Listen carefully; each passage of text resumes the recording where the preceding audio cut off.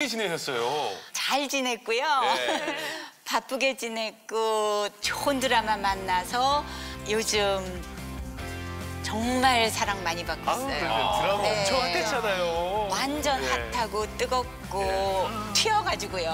제목이 튀어서. 아니, 서럽 씨가. 어, 네. 그래서 튀었나 아우, 봐. 엎고 튀어. 네, 그래가지고 소리 할머니 음, 덕분에 이게 한 2년은 배 고프지 않을 것 같아요.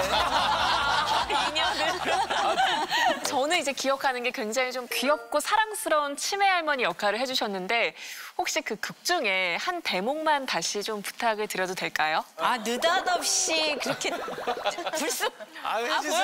어, 옆구리 치고 들어오면 놀래는데 나. 해주세요. 예. 어, 네, 그러면 음, 몰입하시는구나. 어. 네.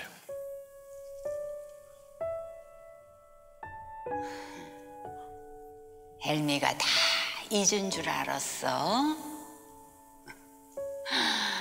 있기는 헬미는 시방 기억 속을 여행 중이요.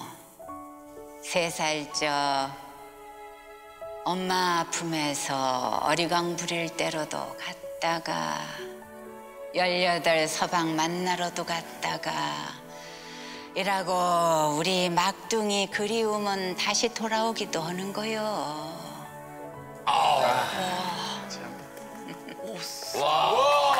스튜디오가 너무 조용해졌어요. 아니, 순간적으로. 예, 몰입감이. 몰입감이. 순간 몰입을 눈 감고 한 3초 만에 몰입을 하시네요. 이 장면 저도 안 잊혀져요. 네. 네. 와. 대사가 주옥 같아서 그냥 이렇게 영혼 속에 스미듯이 그냥 싹 들어오더라고요. 아니 선생님은 그 몰입감 너무 좋은 대사라서 잊을 수 없다는데 저희는 선생님이 대단하시다고 생각해요. 그걸 다 외우고 계신다. 맞아요.